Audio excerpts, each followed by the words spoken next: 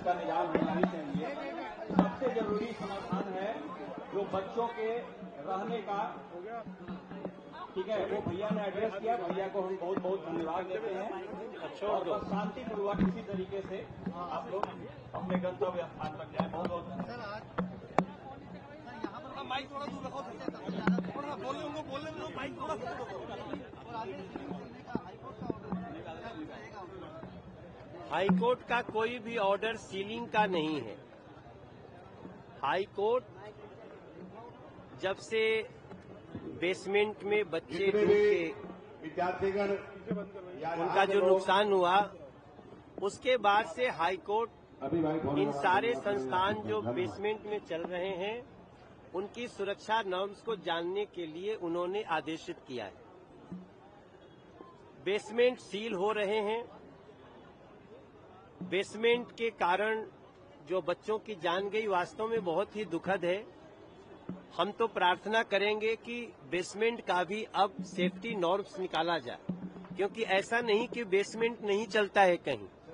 यहाँ भी metro basement में चलती है। तो क्या मेट्रो बंद कर दें? हम अभी जापान होके आए, वहाँ हम चार चार फ्लोर नीचे देखे मेट्रो चल रही है। नदी के नीचे पुल है, अंदर सुरंग में है। तो दोष बेसमेंट को देने की जगह बेसमेंट की सेफ्टी नॉर्म्स को देना चाहिए। लेकिन फिर भी बेसमेंट के अलावे जो कोचिंग चल रहे हैं, उनमें एक नियम है, किस कोचिंग सेंटर में कितने लोग पढ़ सकते हैं। आप संख्या निर्धारित करो।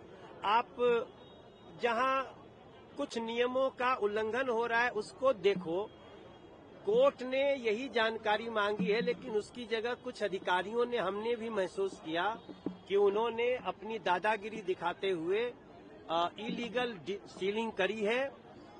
हम आज सभी छात्रों की और यहाँ के शिक्षा से जुड़े लोगों की बात सुनी है। हमें शिक्षा जगत के जो कोचिंग जगत है, इनकी भी बातों को समझना है। मुखर्जी नगर को एजुकेशन हब बनाए रखना है। और उसके साथ जो हमें छात्रों की भी समस्याएँ आई हैं किसी का रेंट के विषय में, किसी को रहने, खाने के विषय में तो ये सारी चीज़ों में हम जो बेस्ट रास्ता हो सकता है, उसको निकाल करके इनको राहत देने को तत्पर हैं। अभी जब तक फायर एनओसी के नॉर्म्स जो पूरा कर रहे हैं, या पूरा करने का प्रयास करें, तब तक किसी को कोचिंग नहीं करने देना चाहिए। मैं एक दो दिन में ये डिसीज़न आप सबको सुना दूँगा। और मोस्ट प्रोबली हम ये कर ही लेंगे। हमारे नेता प्रतिपक्ष बैठे हैं, उनको जरा बुलाइएगा। और जो कोचिंग सेंटर बेसमेंट के अलावे सील हुए हैं, हम उनको खुलवाने के लिए पूरा प्रयास करेंगे और हमें विश्वास है कि हम सफल होंगे। हमारे एमसीडी के नेता प्रतिपक्ष राजा इकबाल जी हैं। हम लॉ के तहत ही आगे बढ़ रहे हैं और हमें पूरा विश्वास है कि कानून के तहत मुखर्जी नगर कल भी चलता था।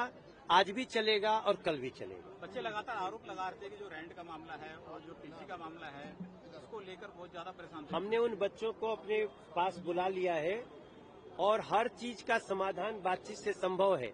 जब हम आ, कोचिंग सेंटर्स के लिए और छात्रों की इन दोनों बातों को साथ रखेंगे तभी समस्या का सही निदान होगा। देखो हमें भी पता है कि रूम रेंट को लेकर रहने की स्थिति को लेकर मीडिया ने भी कई रिपोर्ट दिखाई है जो चिंताजनक है जिसको हमें मुखर्जी नगर ही नहीं पूरे दिल्ली में लागू कराना है ताकि बच्चे पढ़े भी सुरक्षित भी रहें और कम से कम खर्चे में। फाउंडेशन कोर्ट में गई हुई है वो भारतीय जनता पार्टी से रिलेटेड है बी एन झा जी क्या कहना चाहेंगे मैं वो बिल्कुल वो कभी कभी हमारे नाम का गलत उपयोग करते हैं हमारा उनसे कोई संबंध नहीं है और स्वेच्छादान की जो भी समस्याएँ हैं वो आकर के हमको बताएँ।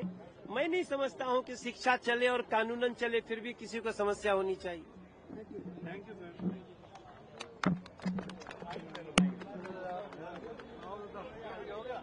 भाई भाई भाई गिर जाओ यार।